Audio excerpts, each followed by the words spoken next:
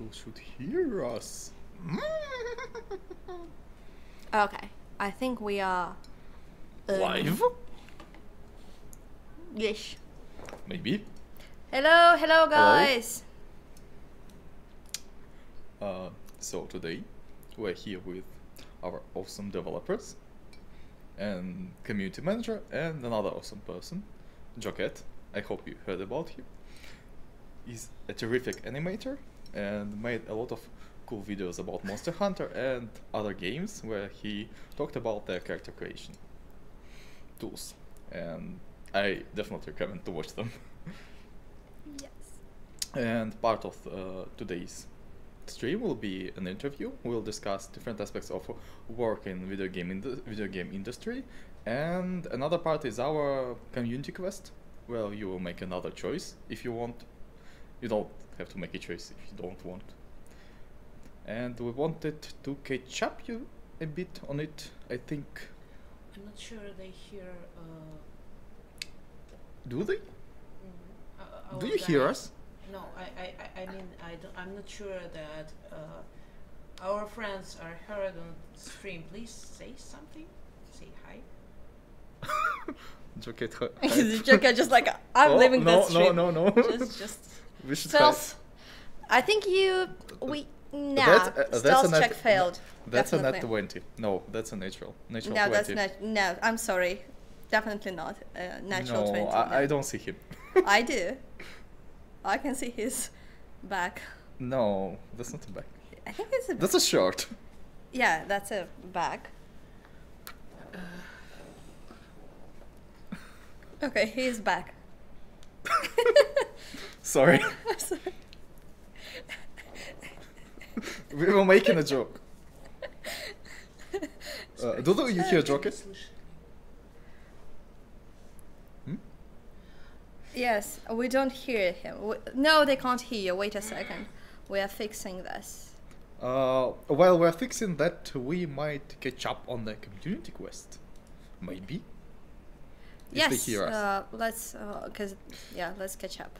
So we want to talk about our community quest. Previously on our community quest. After a battle with a necromancer, the commander found a sinister looking staff, which he decided to keep. The party took refuge in a cave to rest after battle, but in the morning they found Maya, the young cleric, who was beloved by everyone in the party. Wait. Ah! the party took refuge in a cave to rest after battle, but in the morning they found Maya, the young cleric, who was beloved by everyone in the party, dead. After examining his companions and considering their possible motives, Commander decided that although Tessera, the elven archer, acted suspiciously, it was not enough to accuse her or anyone else of murder, and the party continued their journey. That's your turn. Okay, okay, okay, okay. I'm continuing this. Uh, guys, bear with uh, our echo, it will be fixed soon. The party soon reached the stone wild, wilds or winds? Wilds. a region in the Worldwound where once an epic battle between the druids and demons took place, and all trees were turned to stone by a powerful magic. Ollie, the young recruit recalled that he visited that forest as a child, and his father was one of the druids who stayed to guard it. When the party was camping after a walking day, they were ambushed by demons, and Ali was kidnapped by a group of Nabasu. With the help of uh, Diludar, the only surviving druid, they've managed to rescue Ali, who apparently met a Sibra- Siabra, Siabra, sorry. Zebra? Sir- someone. Sabrai, a powerful undead druid who Ali thought was his father. Later, the party met that creature again, but it seemed to avoid the fight. They kept going and found a strange glowing man here, which revealed its secret to the commander. Only by waking up the inner power, the one true to his heart can close the Worldwound. After this, Dildar, the druid, shocked by the commander's willpower, confessed that he was working for demons that the whole time, luring people to the menhir to drive them mad. Commander ex- executed the traitor, and the party fought a horde of demons. But the battle was suddenly ended by the appearance of the Sebrai, who defeated the remaining demon and showed the party a way out of the woods. Ali, feeling guilty for all the trouble he brought to the party, asked for forgiveness, and the commander decided to give the boy one more chance. That was a short one. It was But a short okay. one, yeah, that's Now, cheating. As our heroes have uh, left the stone walls behind, they suddenly see a ghostly figure. The ghost takes its helmet off and says, Commander, at last! I've been lost in the woods for so long. My order fought bravely, but all my brothers have perished, and only I remain. Ready to follow your orders, sir? Sure. That's your part. From that introduction, the commander gathers uh, that they are seeing a ghost of a fallen crusader, who seems to be unaware of his own death, and for some reason incapable of passing into Pharasma's realm after his fallen friends. Commander knows a prayer that could end the spirit's torment and free him from this hopeless existence. But also, Commander has a necromancer's staff, which he believes could give him the control over the dead knight's souls. What will you do? The first choice is to grant a peace to the spirit. The second choice is to send the spirit to the battle. So voting will be on right now. Is it on? Uh, I, I, Yes. after you uh, announced those options, I just thought that the music from Who Wants to Be a Millionaire would really suit this moment. They decided voting. I know Sorry. the one, who, uh, the people who want to be a millionaire would vote uh, the second option, obviously. Oh, sorry, the first. Wait, send spirit to battle. To battle, obviously. Yes, that's millionaires stuff to do. The real Yeah. question is who's the weakest link? Oh yes, that's true. That's awesome. Weakest link. So, now, Now we can discuss. Yeah. what we want to discuss? Woo. What do you want to do? First, I want to know how everyone's day's going. I always like to ask that. How's everyone's day? I'm fine, I would say. Uh, it was a Yeah. very difficult, long day, but in general, I would say, yeah, for me it was fine. Mm. It's it's evening, so perfecto. Yeah, that was a good day with a bit of role playing for our next pro for our next project. But no other information about it. Hi. Hi. Hi. and what about you? No, no, Thai. I was. Ah. I was saying, Oh, okay. so just- because Ah, uh, well, see, um, I don't want to spoil stuff, but there's a certain feature that I really, really, really wanted to see done in the game, and uh, it took a lot of uh, it took a lot of strength from me, and today I finally finished it. So yeah, that was a good, good day. I, and you, Joe, how was your day? My day was weird. I got up pretty early today, and I uh, just started working on a project. And uh, but then like, you guys were like, "Hey, that thing today. That remember that we reminded you, and then you said that you would Oh, be yeah. ready for it." I'm like, "Oh, I don't. and, yeah. So, but here I am, totally unprepared because I've never done this before. But I hope that you guys will help guide me and hold my hand. Oh, really? Because we hope that you would do that. Shit. I'm joking. I'm joking. That's a really But it's bad- very exciting. I'm very excited. That's a bit of a bad and tasteless joke, you know. Uh, all my jokes are quite taste- tasteless, I would say. That's a curse of Oh. mine. um, they will be back in a minute. Sorry. Yeah, there's some uh, issues with application's our stream. So Uh, anyway, For some so reason, Trey is not moving at the Yeah. yep. Um, unfortunately. Thai is frozen. Oh no. Uh, Please can don't. hear me? Oh no, no, no! He was just sitting still. That's why we thought as well that he was frozen. Frozen. There we go. Let it Yep. go. That's all I can say about that. Yep. That's a terrible joke. So, um, I need something. Sorry. It's called mouse. Hmm. so we need a cat for it. Um. We, So yeah, uh, shall sh- sh- shall we shall we start with um we what? some of these these uh, I don't know which which one do you think I'm gonna let you pick you host Just pick from host's choice yeah because I don't I don't know what which Roll a dice. I would Oh, advise. roll- Well, that would be actually a, a fun option to roll a dice for all those questions. But it might be a trap because we have one personal question and I'm not sure who will who would like to we answer? can we can avoid that one. We can avoid that one if it's uh. I kind of won't mind answering it, but uh, yeah. I- yeah, I, I mean, think it's uh, it- I it's think it's pretty fine, fun. it's fine. It's, It's a a weird question. question. It's Uh, weird, but but it's it's fine. Okay. Let's see. Uh, we'll sign. But I don't two, think we should start with just Yeah. this question because it's so personal. Maybe some people in the chat would like Okay. to We'll answer we'll it. we'll start with a. We'll start with a just a a, a general one. Um. Let's see. Who the hell are I, I guess one that I'm sorry. Uh, sorry. I, I guess one that w- is better suiting to me, maybe not good suiting to y'all's regular audience because they, they already know about Pathfinder. But tell tell me, as someone who is not familiar with Pathfinder, what is Wrath of the Righteous? I guess. I know that's a very generic and simple and straightforward question, but like, I mean, I've tried it out, but like, say you were trying. Uh, I'm sorry, I'm I'm bad at this. No problem. Hello? You know? Can you guys It's- hear me? Yes, yes, it's we okay to answer uh, questions and uh, f- uh, trying to formulate them. Really, uh, what is wrath of righteous? You mean in in what sense? I guess um don't know. Uh, as know a as a game, as a model for Pathfinder system, as an idea. Yes. What from these types of? Uh, because I am I'm someone who is familiar with some tabletop, but not so much Pathfinder. Uh, it has always been like a sort of intimidating system for for me. Um, it's and based off yeah. 3.5, so I understand. It's just Mhm. sometimes it's just a real mess. There's a lot of stuff going on, and sometimes you really don't know what to. You, you should look up to understand it. And some rules are terrible, especially grappling rules that take up around one full or two full pages, and you look them up every time you try to grapple a creature. There's no option not to look them Ah, up. wait a sec. I, I still love it though. There's a lot of background. options.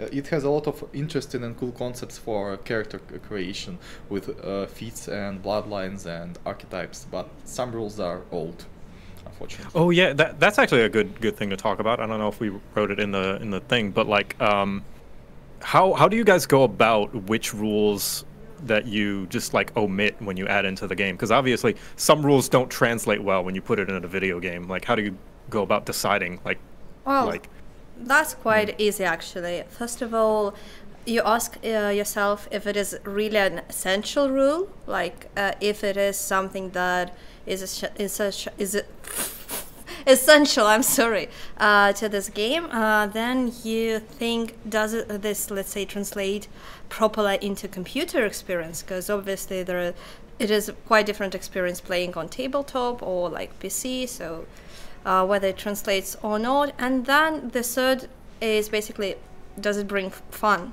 Is is it a fun feature or not? And let's say if it is not fun, it is difficult to implement. It doesn't translate well into computer, and especially when it's non-essential, that then you just like, okay, we probably will skip it. Yep. Our game designer. you- designer. One of. So what you're saying is the question is whether the rule uh, sparks joy. ah, Exactly. Actually, yeah. I I think that's what you meant. It's basically yes. Does it spark joy? Mm, Okay. You want you, you don't want I think to spend a lot of time trying to learn a lot of stuff in the game. You want to experience. No, uh, for some, it's really important. I love to create a ton of characters to try out everything, but for some, it's more important about story and how the game flows. Because uh, you know, it's like in writing. Sometimes, if someone just stumbles upon a weird sentence and can't understand it, it will really mess their impression and ruin it. The same, I think, is with the games. Yep. Have y'all have y'all ever uh, considered? I mean, probably not. but uh, have you ever thought about uh, possibly allowing like allow- allowing some sort of option to have those rules for like the die-hard Pathfinder fans who like they're like it must be just like the books. I don't care how unfair it is, how dumb in video games, how much it'll cause me to miss. Have you have you thought like about Of You know. course, uh, one like this. We do have it. Yes, I think the easiest Oh, you example do? is Oh, I death see. And resurrection. On a story mode, you don't really die. I think. And on Oh, a core, Yeah, you there- just an it's rules. I would say swarms.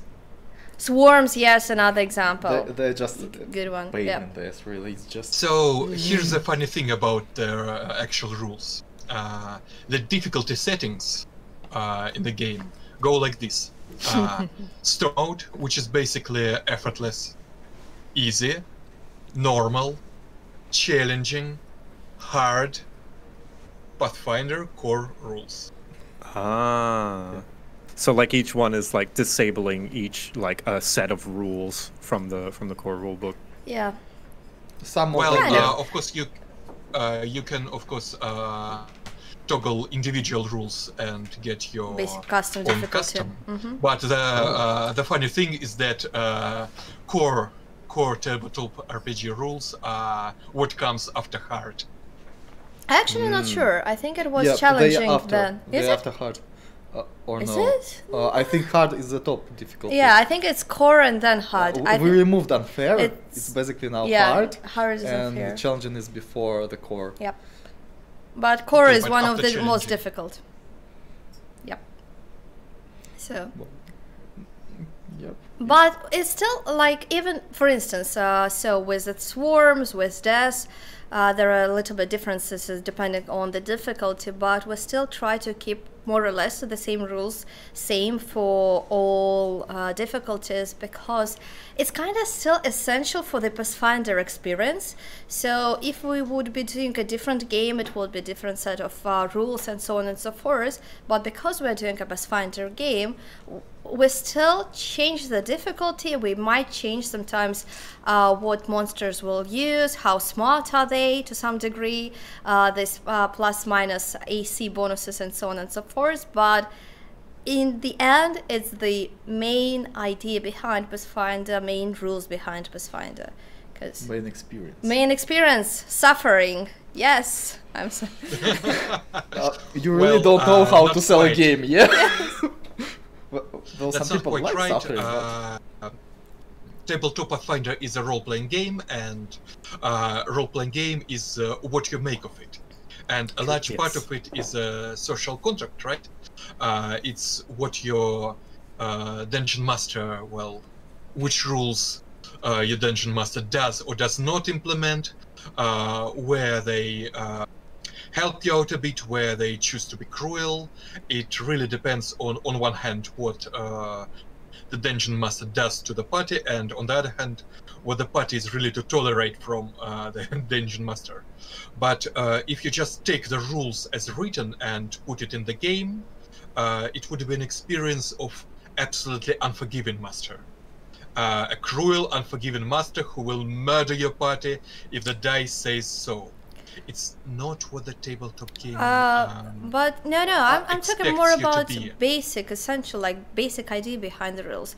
Whether you're allowed to die or not to die is less of a main idea behind the rules. But the magic system, how it works, how AC works, how leveling works, all these bits is what makes uh, mm, mechanic, let's say, part of uh, Pathfinder works. I'm not talking about the narrative and role play because that's a different thing. Oh no, well. I'm not talking about narrative. I'm talking about uh, the fact that um, some of the harshest rules in the book, the rules as written, are still written um, in understanding that there will be living people behind it. There will be living people implementing True. it, and maybe will bend these rules. See, the, these rules are supposed to be bent during the play, well, I which think a Yes. computer does not normally do. No, yeah, with That's a with why, a live. uh, But we choose what we add into the computer. That's uh, that's uh, Yes, basically that's and where that's we why- that's why- DMs. And next time I will the, make uh, everyone roll initiative to talk uh, each after another, so you won't have to interrupt. Sorry. Just so uh, everyone have a, a time to say something, because JoCat obviously wanted to say something, but you are you're discussing a golden rule basically now. Oh no, I'm just some random guy on the internet, and what I say, uh, what I have Oh, to say isn't oh, no, important. oh, you're no. the you're the people. Oh come wait a on, second. we Making love this cool you. thing. We love you. You're not just a random guy on the head do you internet. Oh, there was a. We love you. I really liked your crap guides. Oh, thank you. Wh- What head do I you want? appreciate it. Random. This one. This one. Fine. Random. Okay, I'm sorry. I Um, want to say what's happening. I'm just like, yeah, please explain what's happening. I, I can't explain. I, I, I have a stuff to do. I also can't explain. nice I, I have to put a hat on. Uh, yeah, we have a system that uh, uh, allows our stream to, oh my god, say hydrated, to do stuff to us while we are. While we're streaming, basically, while yes. streaming. So it was hats off to you. We have to change a hat. It was hydrate, so we have Two to times drink. actually. Cheers. Cheers, and then there was a posture check as well. So it's a difficult, it's a rough life to be a game developer streaming. It's a rough life. Yeah. Mhm, We're I Anyway, we were discussing So the that- golden rule. So Oh, yeah, master, yeah, that ma- ma- that master should intervene some rules and change them that everyone at the table have fun, even if they Mhm. want to follow the rules by the by the book. Yeah, something the flexibility of having like a real life person running the game, whereas Yep. with a computer, it's like way more complicated to try and do that, like in real time, and you've got to do develop so many systems for it. oh yeah. Uh, so you just have it. You can adjust it as a player, and I, I like that amount of control. I think that's great for for the people who are like, who are like, ah, I just kind of want to play without these things that annoy me. You know, it's like house rules. Uh, you know, every tabletop's got house rules. Yeah. Yeah, most of them. exactly. Um, but there's another thing in computer games that you can do. You can save, actually. You have uh, Mm. an option to make a mistake, that something bad will happen to you, and you can go back and uh, make a different choice or maybe a different decision, and you can experiment different paths. While in most tabletop RPGs with a live DM, you have only one way to do things. You basically make a choice and you live with it. In the game, you That can is- return it. That that brings up actually a question that I had. Uh, that now that you mentioned that, are you guys uh, doing anything to possibly uh, take into account save scumming, or you're just like, no, they can try as many times as they want. Well, basically, yes and no. But main our main idea is that we don't account for save scumming. So if the player wants to save scum, it's their decision. So c- because it is very difficult to some no, well, you have to build the system around avoiding save scumming if you want to avoid them. But if you want a player to allow to save scum, then basically you have to live with that. And I would say that at least from the game mechanics part. What about narrative part? Well, uh, first of all, we have the thing called uh, the Last Azlanti mode, which is uh, Yeah. essentially uh, means um, that you have one save game And and sometimes uh, you cannot go back. But it's it is optional. It is optional. And uh, well, you see, um, there's an aspect to a game, uh, an aspect to a genre, and uh, I think that uh, it would be wrong to punish players for trying to do things their way if they want to save scum. This has been a staple of the genre for uh, for decades. Uh, I don't think it would be right to try and forbid players from doing that. Yeah, another Okay. part to this. Um, oh, sorry. That would just push us into a, some uh, different genre, yeah.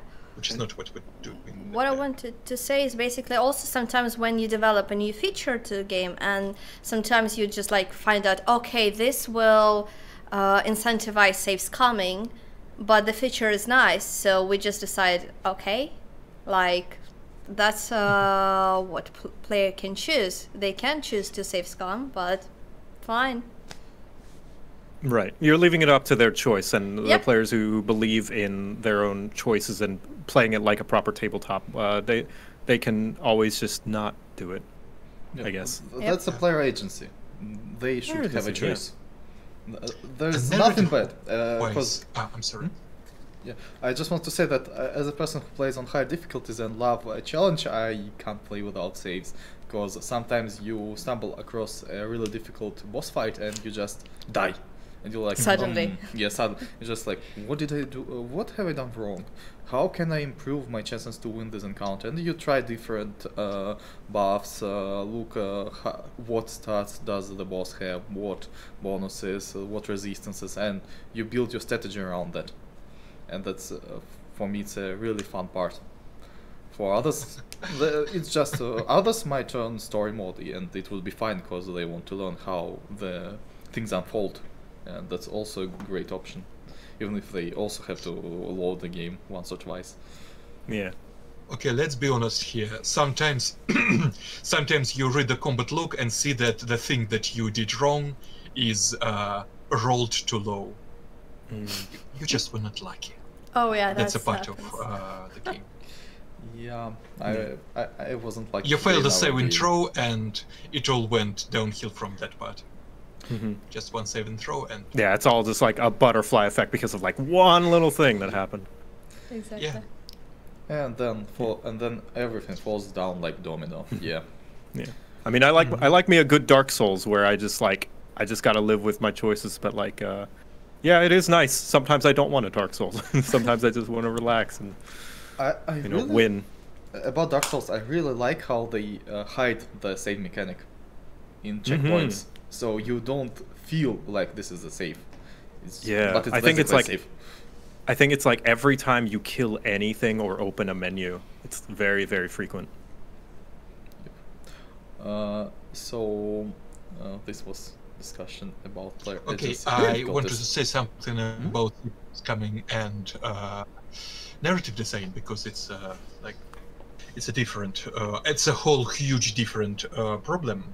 Oh, and yeah, you see, um, as a narrative designer, I of course want people to see the stuff that I've written. but uh, at the same time, I want them to have some coherent experience. I want them to um, play and see their own story. And um, if saving is uh, impossible, if uh, you play in only in a uh, linear mode, uh, then well, to see another thing, to see another option, you will have to play the whole game uh, from the start, and not everybody is going to do that. Mhm. But on the other hand, on the other hand, um, there is um, there is a certain there is a certain appeal in the uh, what I for myself call uh, a three-dimensional reading, when you not only check out the thing that you actually do, but also check out the things that you do not uh, end up doing in your playthrough, but you still check them out. You Yeah. see the wrong answers, you, you see the evil answers, uh, you see Oh. what could have been, and you still do not make it canon for your specific game, but you do check them out. You see Being mean. Being mean to NPCs is always the toughest thing for me. Like that, I, I will never. I'll always look up like, like a playthrough on YouTube of like, oh, what happens when they pick like the evil option? Oh, Exactly. But what I'm saying is that uh, checking out that option that you do not take uh, uh, still becomes a part of your uh, experience and a part of your story that you didn't choose. yeah. You want to give players that option to to be able to go back quickly and just like see, in case they want to know Yeah. the outcome of the choices. I guess. Mm-hmm. And again, that uh, that is just a part of the genre we're working in. hmm It always has been. R- Ah, yeah, true. Huh. Uh, and actually, about choices, I think there's another question, but more personal, uh, that is also related to choices. Is um, some things that our team loves to include in every single game or piece of. Ah, media. yeah. I Do think that's a good that? one. Yeah. Uh, I think it's mostly for narrative design team because I know that they have a lot of different references. At least in Kingmaker, there were a lot of them, and if you knew where to look, you would find them. Yeah. So yeah, are, are there any like any any type of story like side stories, mini stories, side quests, or characters, anything that y'all like to include like reoccurring? Because I, I know whenever I run games, uh, tabletop games, I have a few like one or two characters that like always show up in every game. And It's like you- as a running gag. uh, If we can talk about this actually, so If you can, if it's Yeah. not spoilers, you know, uh, if it's spoilers, then feel free to be like, no, pass. Hi, can you say something about that? Maybe you have something that you love to include. Oh, oh what? Hydrate. Oh my god. Stay Okay, hydrated. uh, are you asking about? Uh, huh? Uh, No, uh, no, no. about Uh, are you asking about our? Uh, no, no, no, no. We're asking Hello? about reference in the game, in the base game, Mhm. in quests, in dialogues. In the game specifically. Yep. Yes. Or in other media, how it was formulated. Maybe in your uh, Yeah. side stuff that you write. Mhm, Yeah. Things that you'd like to include, like just as a, I don't know, a signature thing. Also, Julia also Well, answered this as uh, DM. To begin with, uh, when we just started de- um, developing the game, we all took the original adventure path, uh, which is uh, well, for those who don't know, the game, uh, the computer game that we're making is based on a published uh, series of modules by Paizo, Hmm. um, which we built upon and uh, developed and. Um, so we played it, and uh, it was uh, it was a really interesting uh, experience because uh, everybody uh, there were I think three or four parties simultaneously, and each one had their own um, experience of playing it, and we uh, uh, compared no, our notes it. Uh, how it went for you, how it went for us, uh, whether party died, whether party won. Um, and I created a character that I really, really loved. Ah, I wanted to um, put that person into the game, but there just was no place for them. Just, Mhm. uh, just nowhere to uh, implement that character. And in the end, she ended up having a very, very minor role in one of the quests, but she's there. And I'm, I'm, I'm just glad that. Uh, but uh, in my other games, in the tabletops, in the tabletop games that I run, uh, that character became uh, uh, not a running joke, but uh, a frequent, a frequent character to come. It was essentially the Shovel Knight. Yeah. I I made a war priest of Pharasma. Pharasma is uh, the goddess of the dead, the goddess of burials, and um, in the original game that we played, uh, uh, she used the Pharasma's um, holy weapon. Uh, there, what's it was? What it was? What it was? A dagger. The dagger. Uh, then I created the same character in another game, and the master actually allowed me to choose um, shovel as the uh, holy weapon because Oh, that, that's great. that's that kind of better for Pharasma, I think. and then that character just kept up uh, popping in other uh, other games that I'm making. Sounds like a very fun character. Oh yeah, like a grumpy, very unladylike lady uh, with a bald head and a shovel that she uses to just punish those who. Oh, uh, I'm already in love. Oh yes. Well, I think she's not uh, the best uh, undead goddess. Let's say no, sorry, goddess of death or god of death. I think in D and D they have a m- more interesting version of gods of death. Uh, regarding uh, the references or something like that, uh, sometimes I at least try to put some fine funny references uh, in games in items when I can. So, for instance, uh, I think that's not going to be a spoiler in Pathfinder because I'm definitely sure that someone streamed that. So in Pathfinder Wrath of the Righteous, there is a statuette. I think it's something like statue of a cat, and it has something inscribed on it like oval of wisdom. It grants uh, some kind of bonuses, and the uh, the weird comment, "Huh, that's a weird name uh, for the statue of cat." And uh, some people got that references. Some some people didn't, even on the second uh, playthrough.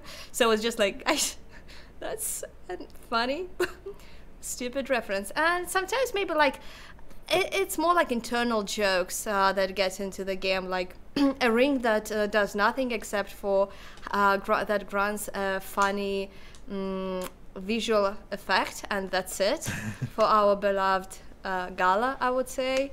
So it's just like it, it gets inspired by something that you see, maybe uh, saw somewhere, like maybe from your colleagues. But yeah, some somehow it sometimes makes it, uh, it back into the game. So Sorry, and what is? Oh, I can't find. I can't wait to find that ring. to? huh? What is the state statute is reference to? It's an owl, cat, owl, cat, statue of cat, owl of wisdom. It's an owl, cat reference. It is that simple. Ah, that's very clever. Actually. See, no one, no one gets it. I was just like, You're too smart. Sorry.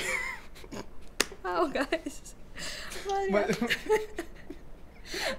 There are some subtler uh, references. Um, some of them are like de- deny just. Uh, you can't uh, simply like uh, remember in uh, Fallout there was a certain mm, blue mailbox there. Mhm. Yeah, uh, we don't do stuff like that. We don't do uh, stuff that breaks immersion and just uh, references uh, completely different uh, games and books and stuff just for the sake of reference. Actually, I believe it's not a very good kind of uh, uh, Easter egg because, uh, well, why is it here in this world? Mhm. That Yeah, no, that's fair. that, that uh, oh i saw that thing in that other thing. It's not enough to make for um, good reference. I think it should work as a pun or as a, some double entendre but uh, just taking stuff and stuffing it into uh, your game. I don't see the point.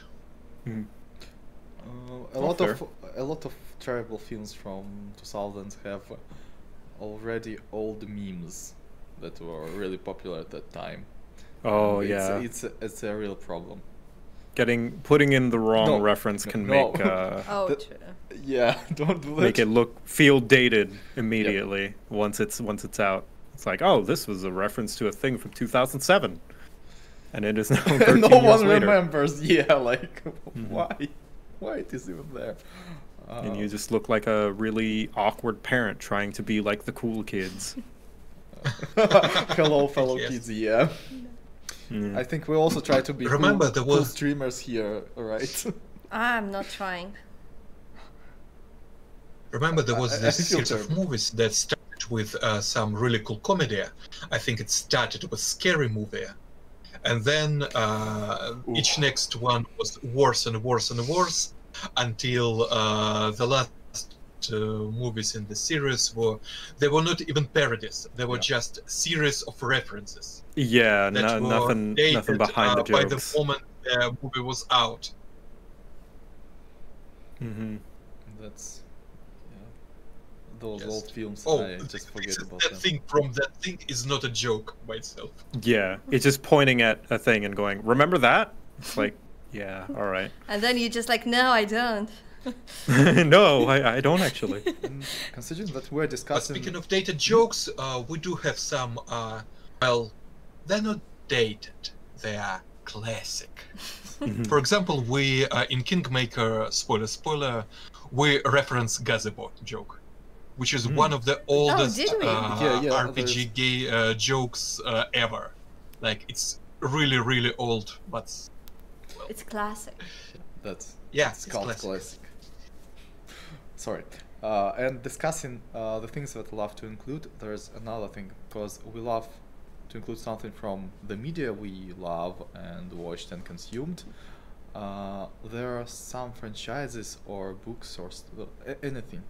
Uh, and there's there were a question from JoCat if they Yes. if, uh, if you were allowed to reboot any franchise and uh, and you were the lead just any movie, series, game, anything, maybe books, which would it be? I, I, I know the answer to this for myself, but I would really love to reboot uh, in some way form Chronicles of Amber. Mm-hmm. Because mm-hmm. uh, I'm a huge fan mm. of Zelazny. Interesting. It's just like I never finished that actually. I tried several times but never finished. I think it really g- will greatly translate to uh, uh some form of uh, series 12 or so long episodes. That that would be really cool.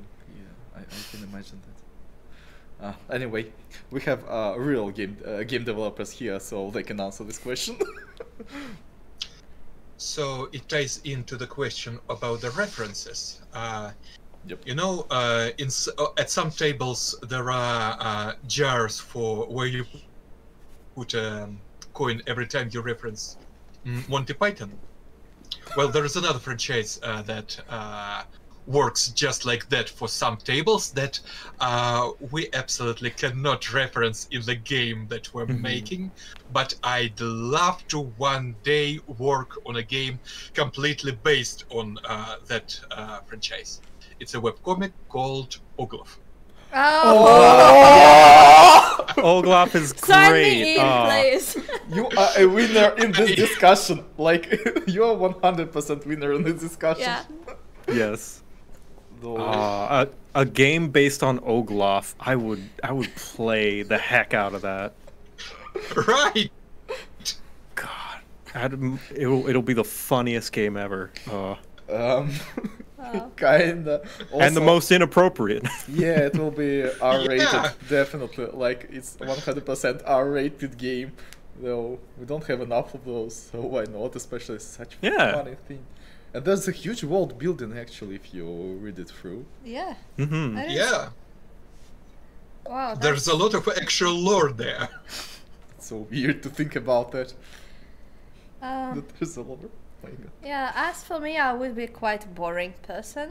I know that, well, uh, the franchise are alive, but still, I would like to kind of do something new with them. Is oh, Mass Effect and Star Wars Knights of the Old Republic, like in general, the Old Mm. Republic. So I would go for these two. There are new books about Rep- Old Republic, you know. Uh, yeah, uh, like I live in the world of computers. I don't really. I, I actually have never ever read They actually online.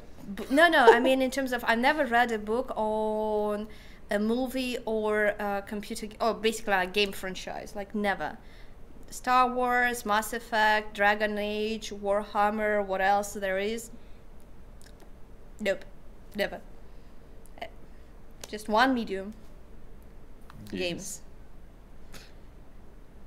It's It's kind of fine. the opposite for me. I, okay, I'll be honest. I dislike, uh, I dislike the original movies uh, of the Star Wars, uh, including the original trilogy. I just do not like the movies. Mm, None of them. Interesting. But uh, and and for a long time I was very hostile to the franchise in general. But then then I learned that uh, the further you go from the um, original movies to the realm of comics, books, games, the more hidden gems there are. And I got hooked on the actually uh, first on the comics, and now I'm in a game based on uh, Star Wars, uh, in a in an RPG, ongoing RPG uh, based on Star Wars uh, with some um, brilliant people. I'm absolutely loving it, despite uh, the fact that I still hate the movies, kind of. All fair. You know, you don't have to, you don't have to like it just because it's popular. And- yeah, uh, I think a lot of people share that as well. Like especially with like shows right now, like The Mandalorian is like a spin-off that has nothing to do with like the main trilogy movies at all, and people love that because it's exploring a bunch of new stories and new interesting things that not just like save the world. Yeah. I mean, uh, I was reading the uh, first the comic uh, Admiral Thrawn's trilogy. Yeah. Mm. No, Admiral really Thrawn good. is uh, yeah, yeah, right. Uh, and I was reading it, and I almost cried because uh, I'm reading it, and I see. Um, well, you see, um, I checked out the uh, prices for a certain mineral, and based on that, I uh, made some logistics uh, calculations, and I dis- uh, deducted that certain political powers. Oh dear, that that is the thing that uh, the movies lack. Mm. You know, I would say that Thrawn Actual politics. Actually, Actual, uh, actual wars. Act- yeah, yeah, yeah. there's there's not a lot of gray area or like open interpretation in a lot of the Star Wars to movies. say that Thrawn is basically Sherlock Holmes in space, and you can fight me on Sorry, it. what? Uh, Thrawn is uh, Sherlock Holmes in space. Because he even has his own Oh, Watson. I would disagree. I would say that uh, Admiral Thrawn is um, Miles Ford. Grand Admiral, sorry. Grand Admiral Thrawn.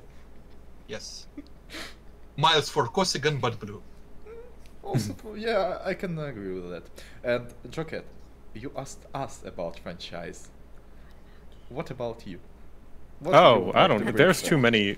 there's Choose too many. Ga- I don't know, man. I I'm not a game developer, so I don't know. Uh, I guess I'm trying It's- to think. It shouldn't be a game, you know. It might be a comic. That's or true. Book or series. Actually, yeah, I would. I would love to reboot um, the Chronicles of Narnia movies because Hmm. like they they did like three of them and then they stopped because the kids kept getting way too old. And I I adored Lion the Witch and the Wardrobe, and uh, I know like the whole series of books is uh kind of like a uh, Bible uh, allegory, but I don't know. I, I just like the the nice going on an adventure and fighting monsters and you know these kids that just you know go on and become leaders and and mighty heroes. I don't know. It's just a simple story for me uh, as a kid, I guess.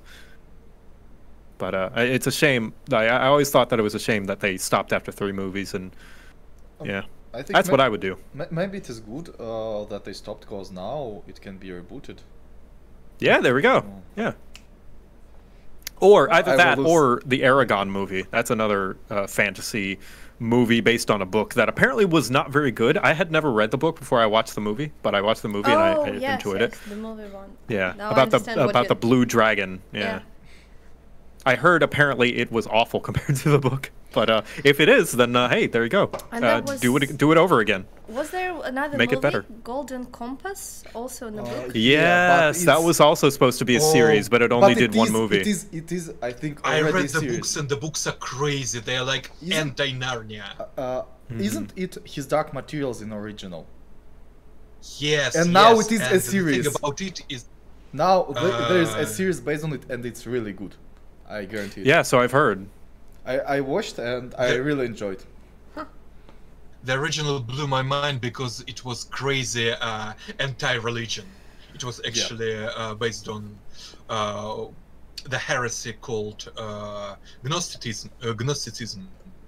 And uh, the whole idea, spoiler, spoiler, is that God actually does exist but is evil. and it goes just darker and darker from there. Oof. Uh, my, my, mm, the mind blowing thing is that some people are protesting Harry Potter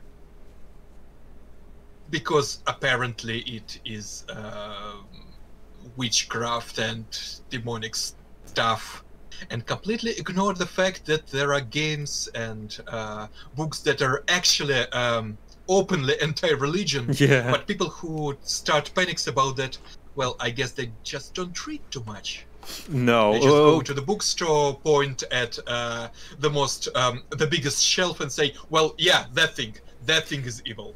Yeah, it's because they only ever see like the mainstream stuff, right? Like uh, it, it happened with Doom way back in the day, like uh, which is funny because in Doom you're actually killing demons, which you would think is a very Christian thing to do. You know, Christians are against demons, um, but I guess it's the ultra violence and the fact that it's everywhere, and you know they they don't see games and movies the way we do, so they only see oh this one game that exists or this one book.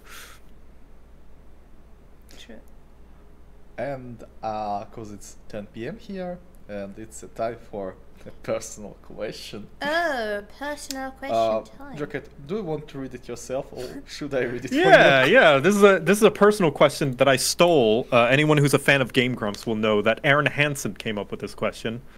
Uh, so pardon pardon the slight grossness, but uh, it's a, I think it's a good litmus test, a good personality quiz.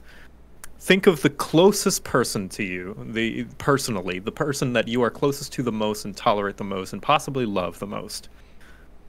Uh, they throw up on you every day at the same place every day at the same time every day all the time it's just like a compulsive thing uh, that it just happens you, don't know why but it happens how many days would you last before you consider like them that that you would get really mad at them and you just can't be around them anymore. Like or or maybe maybe you would have to cut ties with them. I don't know. Something awful. Like like you just no longer consider them a friend. They throw up on you every day. How many days would it take? Okay, I think the question is kind of wrong. Hmm. Uh, I think the question is kind of wrong, and instead of answering, I will fix it for you. Mhm. The correct form of, of this question is uh, how many days will it take uh, so for you so that it stops being gross and becomes your kink? Oh, that's good one. I, like I, I guess for some people it would be, huh? I, I, I mean, I we're talking guess. about the person you love. That says uh, that says volumes about our narrative designers actually. so Oh yeah, yeah. That Sheesh. that's that answers. Wow, that was that was I- actually good. You are the first person I've ever heard take it in that direction. And I hate that you have some right to say that because it's true. Some people would turn that into a kink. Th- th- I don't doubt. That's just too good. Uh, I I answered it in the I Uh. was discussing with JoCat, and I said that it's just like, I, I, you can easily get used to it and just when you need you have a bag with yourself or some Yeah, of, some- uh, uh, yeah. Yeah. Some Use people do answer that they would learn to, to live with it, that they would like get a get a plastic bag and wear it every day or something. Or as you suggest, some people might develop a enjoyment for it because I don't know, people I- Yeah. I- I- are I- strange I like just- that. I just can't answer this question anymore. It's just Uh, can you answer it Yes, now? I can. Obviously. My answer is six days. That's mine. really? Yes, six. Yeah, and I, I have logic uh, behind each one too. Like the first day, it's just like, oh, it's sometimes people throw up. I would just kind of be like, oh man, they threw up. And the second day, I would be concerned. I'd be like, oh, are you okay? And the third day, I would want to take. I would tell them like, hey, you should go to the hospital. And the fourth day, if they haven't, I would have driven them to the hospital myself, like personally. The fifth day, I would just think it's weird that they went to the hospital. They're probably taking their medication. And then the sixth day, I would be like, okay, uh, whether uh, you've got to be doing this on purpose. Like that's how I would feel. Like I, I don't know if they are, but that's how I would feel. Six days in a row after going to the hospital, you've got to be doing it on purpose, right? That's me. Uh, I'm not sure about that. Actually, uh, if we're serious for a moment, uh, what you're talking about is basically uh, the question boils down to what would you do if your love, loved one develops a debilitating uh, disability? And well, this is kind of a litmus test to a person, but Mm. uh, when you look at this seriously, it stops being funny. Yeah. So- Oh, okay. for yeah, me- I, I didn't think about it in that in that. Yeah, basically for way. me, when I Hmm. s- uh, heard that question, I th- like my immediate answer was like one two days, just like come on, just like. But uh, then I realized that I was thinking more about like I don't know some kind of random boyfriend that I might have, not really a close person. But then I decided like okay, if if it is going to be my mom, for instance, what will happen? Because that would be the closest person. And then I realized that I'm actually living with two old pugs that are not really throwing every day, but kind of not the not the healthiest, cleanest uh, type of dogs in general. And I somehow managed to live with them for two years. So just like, yeah, probably I can't live with that. It, I probably will be irritated from time to time because I might be tired, but in general, it's not a that big deal if you think about it. Okay. Yeah, I, I- guess if you if you put it that way, like as a, it's just everyone's got their own quirk. I, I think it's just the main thing that sets it apart is that it's on you, you know, that that it always happens on you. But I don't know. Maybe some people can live with that. Maybe some people can learn to tolerate and just be like, well, this is this is life. Just like how every day we have to eat, every day we have to sleep. It's just a part of life now. Every day we have to suffer. Every day we have to get thrown up on. Yeah. It's just just part of life now. That, that sounds a bit depressing, actually. but we live in Russia. it's uh, every day is depressing. None of us is getting younger. At some point, Please, uh, no, most no, people no, have please. to live with the fact that from this day now on, they will have to live with themselves uh, throwing up every day or having aches every day. They're just part of the life in these bodies, and we will have to um, live with it until the moment of the transhumanism. One if, day. If, if it will come. Then we'll be free of our meaty bags and uh, be happy as uh, in our perfect robot bodies. Yep. When we we can transfer Before our consciousness uh, that's just into a- condition.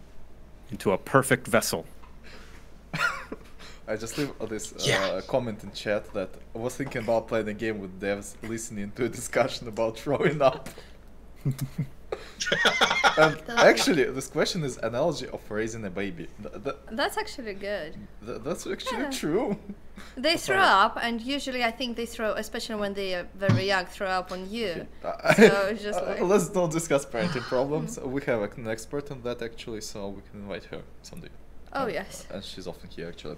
Um, and two more gamey questions. Um, Yeah. Let's switch topics. Mhm. yeah, talking about companions, how they are created and how they come to life. If I recall correctly, that was one of the interesting questions for you, yeah, JoCat? I think Uh, to- how Arsene did can- they- Yeah, I guess. Yeah. What are the stages that you go through whenever you uh, come up with and create and design a companion character? Like, uh, yeah. Oh, just stop me because this is something I could talk about for hours. No, go Uh, on. Let's if have you a are cup really interested, ab- yes, sorry. Uh, I was joking that we can uh, go and take a cup of tea while you will be talking. I was just like, I have tasteless Well, jokes. yes. Just, just. Well, we can actually go, but uh, it's actually interesting for me. So, can you go? can you go with? I Yeah, I'll be here. So, first of all, I need to say that uh, if you're really interested in this particular question, then we have uh, a little article in our Kickstarter campaign about this. Uh, it takes on stage of creating the character uh, and their they all of them together and every single one of them. So you can just check out our um, check out our Kickstarter page. Uh, there was a like a big article about that. But uh, long story short, uh, first of all, uh, what are the uh, what are the companions? They are standing for your well party members. Like the computer is standing for your DM, who can be cruel or forgiving, uh, who can uh, you can uh, well have a, home rule. Uh, let's not have permanent death, and let's not have swarms completely eviscerate us every time. Okay, okay, it, it's fine that way. Uh, so the same way, uh, your companions are stand-ins for your other party members, except, um, well, first of all, they will never take uh, uh, your shiny, beautiful rulebook with pizza-stained fingers. and second, they mostly do as you say, but not always. Uh, that's the thing about uh, your companions is that uh, they have your they have their own characters they have their own flaws um, and we need to walk that tightrope between um, uh, them being well lifeless uh, puppets of yours and them being insufferable. Because it's really easy to make a character who is who has a strong character to them and because of that are completely hated by everyone. Uh, damn i um in kingmaker in kingmaker i uh, okay i won't go deep into spoilers but i did one thing that i thought was pretty tame. Pretty tame really. Uh, it's nothing like when your um, companion uh, well other party member in a tabletop role rolling role-playing game uh, robs you while you're asleep.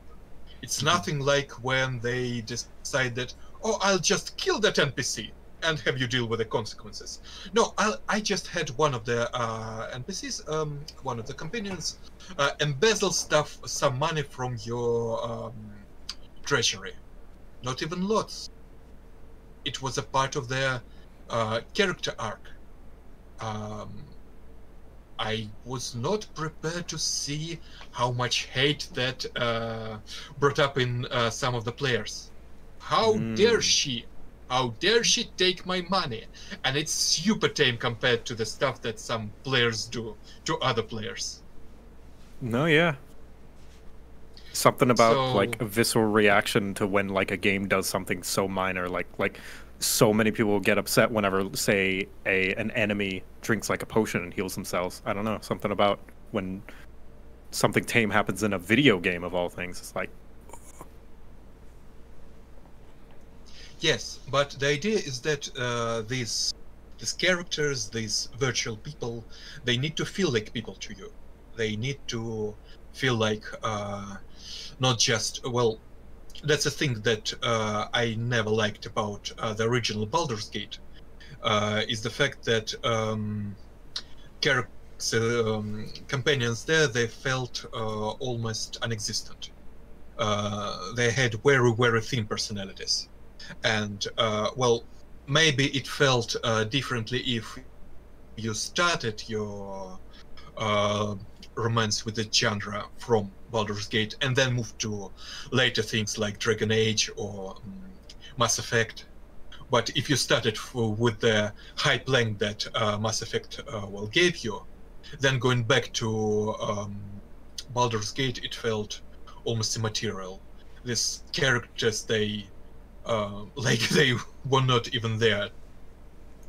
So our main reference was uh, the later games like uh, Dragon Age, and we tried to give our our characters enough of a character.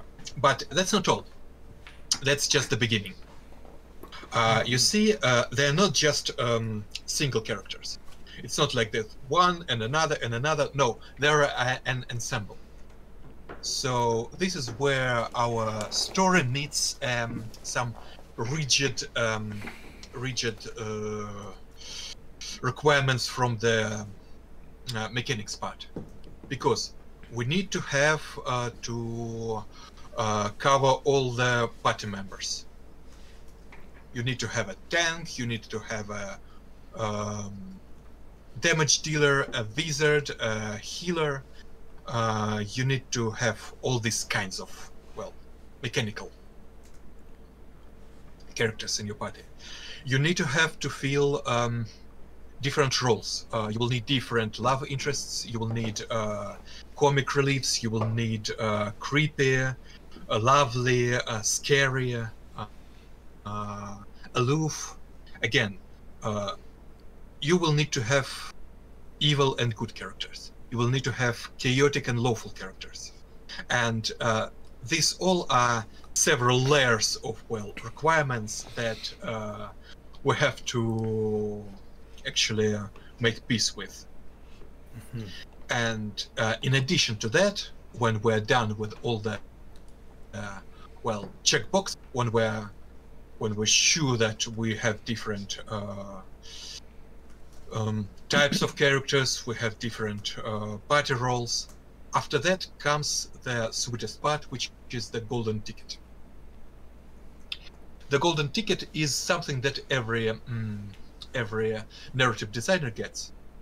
The golden ticket is the ability to put uh, your personal uh, character into the game.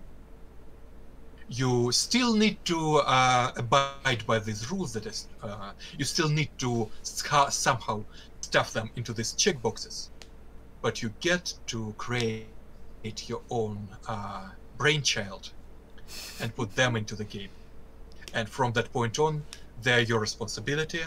Uh, you're supposed to do their quest line, their banters. Uh, you are the owner of this character, and if someone else uh, writes them, you get uh, some narrative control over that. You get to check if, but uh, you have to love and you have to let go because this is the first thing that you need to learn when you are developing a game.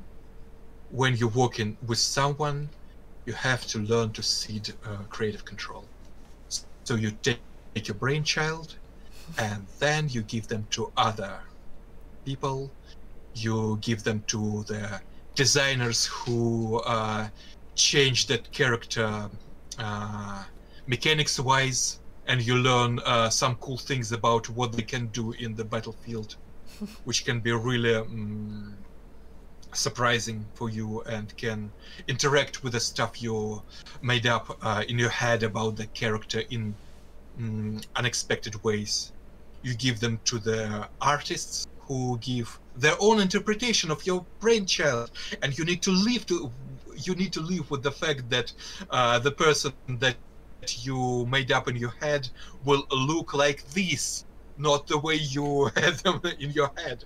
Can I? Uh, Uh, you give them to the um, sound designers, uh, and again, uh, you might love or hate or be surprised by uh, the artists, uh, the I'm sorry, voice actors who get there. Um, so, yeah, it's a it's a It's all a complicated big- story. It's all a big collaborative effort where everyone gets their own like little say on how things, like how changes that go on with these different characters. Yes. Yes. Uh, sorry for ranting. No, no, no. It's a love. It's I- interesting as I to said, hear I could go on, on and on. uh, if I recall correctly, and- you also provide some visual references for characters, no? Or Well, wrong? yes, but uh, you provide references. Uh, you have your wish list, but uh, it's up to the. Um, well, the final say is uh, not yours. Mhm. You come up with where that uh, process starts, but um, you do not have a final say on where it ends because there is the. Uh, there, well, let's begin with the fact that has a creative director, Alexander Mishulin, uh, for whom the whole game is his big, big brainchild. And uh, it must be really frustrating for him uh, to run into the fact that uh, our other other members of the party have different ideas about different parts of this game of his. But he's the keeper of the mm, complete vision because the game needs vision. And the game needs someone who keeps that vision in the head. Someone who um, looks over everything and makes sure it's consistent and if uh, he doesn't like what you do well you can either uh, try to bargain with them you can uh, try to reason and tell that no actually it does work let just just just just listen just listen it, it does work and let me tell you how or you will have to give up and say yeah yeah my idea is cool but it doesn't really work with everything else that yeah. going on It can't. here. Can't. So, uh, as much as everyone. Yeah, as much as everyone has wonderful and great ideas, it's they don't always work together all the time, and you can't just make a. It, it won't, like you said, the consistency when it's just a mess of ideas all thrown together without like uh, proper direction. It can yes be a uh, mess. we saw games like that and sometimes it was uh, cool but it was always well not pretty Mhm. Um, also, uh, I have a weird question, Thai. Uh, I remember that for Kingmaker you worked on Linzi, right? The bard. yes And who is your character in the Wrath of the Righteous? Can you share it? Uh, uh, sorry that I forgot about that because it's so hard to remember what everyone do, what everyone does. Well, the character that I, I came up with was Linzi, but uh, here's the thing: I keep getting, even now, people uh, shame me about certain, I won't spoil it, but certain events that happen late in the game with uh, Linzi. They keep telling me that I am a terrible person for coming up with this stuff, and the thing is, uh, that particular thing was not my idea.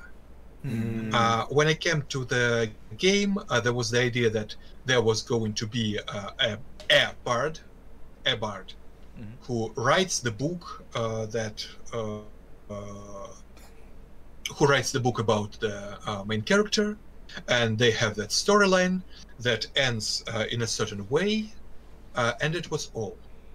It was a foregone conclusion, but the character, the voice. Um, the race, uh, visuals, that was mine.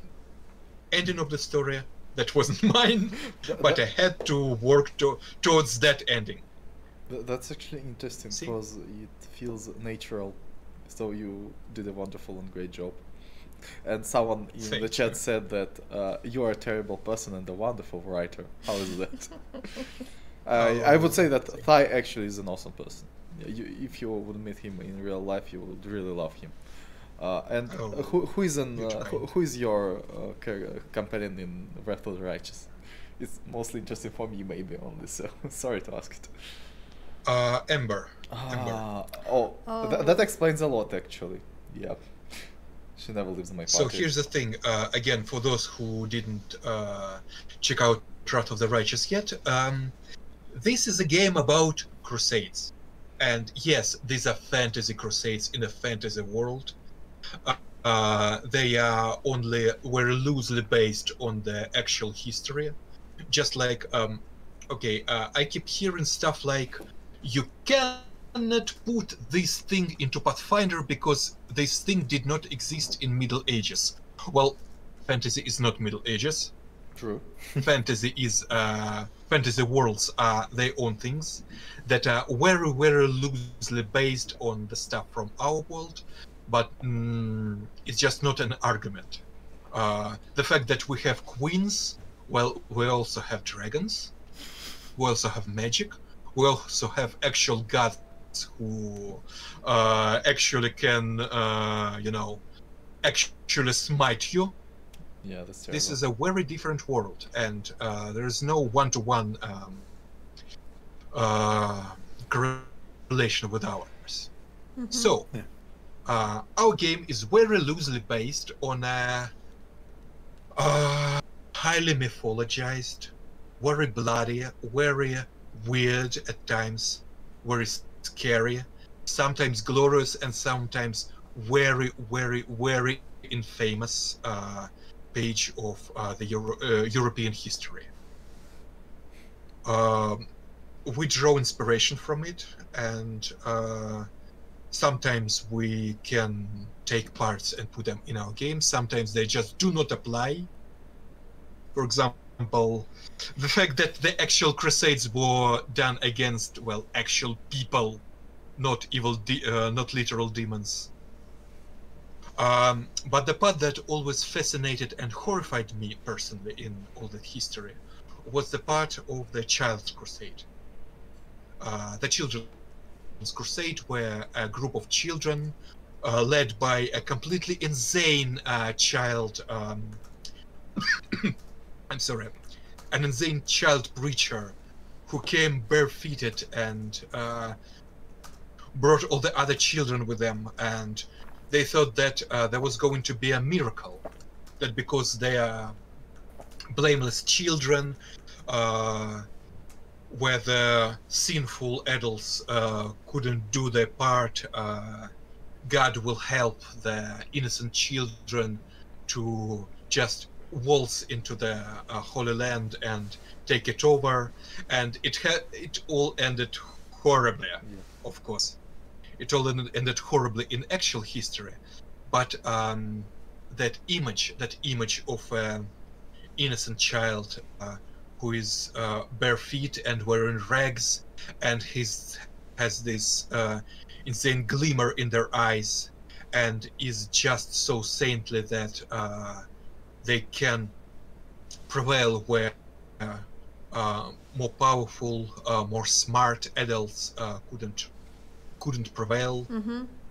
that's a powerful image that's a powerful image and uh, in a fantasy world it can, can actually work Yeah. so i created Ember uh, a burnt witch who survived being burnt in the stake a person who is uh, on one hand she is um, she is an atheist she does not well obviously gods exist in the world of pathfinder but she does not believe that they um, deserve being uh, um, that they, they deserve being worshipped uh, again uh, it's an actual heresy from actual history of uh, different religions uh, just like some heretics from uh, actual uh, medieval times. She prays to good gods. She prays for them to become more kind and actually help people. She prays to demons. She prays to demons and asks them to repent. Um, and even though she does not worship actually any god when uh, the cultists take her and put her uh, a little spoiler on their unholy altar she starts crying and her uh, tears make the unholy altar burn uh, i'm absolutely in love with that character and i'm i myself am horrified with her and i just hope that you will love her and uh, be scared by her as much as i am again sorry for ranting Yeah, that Uh, was no, thank you. That's a really interesting part Yeah. about your work. Mhm. Uh, also, we wanted to remind you to vote. Cheers. Cheers. Don't forget to vote on our Twitch. Yep. And put the poor ghost to rest. He already Yes. crusaded his life away. Poor, poor, Um, poor, sorry. poor ghost. to rest. Yes. But uh, oh, we are all lawful good here, right? Yes, I'm. I'm the most lawful good person ever. Actually, Joe, uh, which is what alignment do you like the most? Oh, I really like chaotic good. Just Okay, like good. someone someone who is willing to maybe break their oaths and and break promises for the good. Just like no rules. I'm gonna do the best that I can, no Let's matter what come- come. anybody says. Lisa here also likes uh, chaotic good. I also like Yeah. chaotic good. You also like chaotic good. Oh my gosh. Bu- But actually, I won't play as chaotic good in uh, Wrath of the Righteous because I love concept of Aeon, the judge, cosmic judge. Also, if you w- would love to be a chaotic good character in Wrath of the Righteous, you will get your own purple dragon. Ooh. yes. She's awesome. Oh, she's cool. Yep, Nah. really awesome. Uh, anyway, um, going from a long, interesting discussion about characters, there was now a question. Rocket, yeah. What is the biggest surprise? Yep. Hmm? Uh, Oh yeah, big- yeah, yeah. So yeah, you guys working on the game. Uh, uh, I'm sure a lot of the audience, including me, uh, we don't know a lot about game design or like what it takes to logistically like make a game going in and working on it like physically. I guess. Um, what is the biggest surprise that you didn't expect uh, when you st- first started working on games? Like you didn't realize it uh, until you started working on games, like something that they just don't teach you. Uh, for me, I will start because I will be pretty much short. For me, I think there were two or three things. One is that I didn't expect that I can be at, at least a decent game designer. For me, that was a revelation, I would say. Uh, but uh, I didn't expect that I would love to make games more than playing games. So I get much more fulfillment uh, from building a game than from playing a game, which was unexpected, but I love it. So that was probably the biggest surprise for me. For me, I already said that, but uh, let me put it this way. Uh, the thing that was hardest to learn was to, uh, on one hand, cede creative control, on the other, take creative control uh, over places that were not supposed to be yours. And the biggest surprise is always when you see other people's interpretations of uh, the stuff that you started and uh, it's really beautiful and surprising when you see how uh, they take your idea and develop it way better than you ever could. Mm, So, ooh, actually, I I have a new question now. Since you work on narrative, and you know that was your answer, um, I guess, uh, uh, how does writing for, like, uh, writing narrative for a game, be uh, that has so many choices, like, uh, was there s- something that you discovered while writing for games that is different for like writing, say, I don't know, like for a book or like a, a movie, I guess. like more traditional Well, stories, I guess. Well, no, no, but like Uh, you know, how how does this compare to writing more traditional story or telling more traditional stories?